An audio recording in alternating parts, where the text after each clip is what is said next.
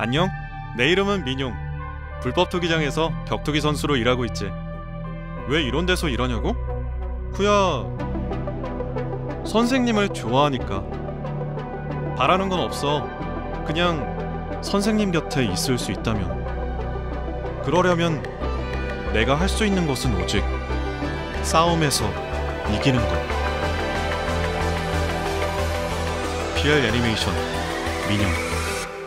좀 이따 봐.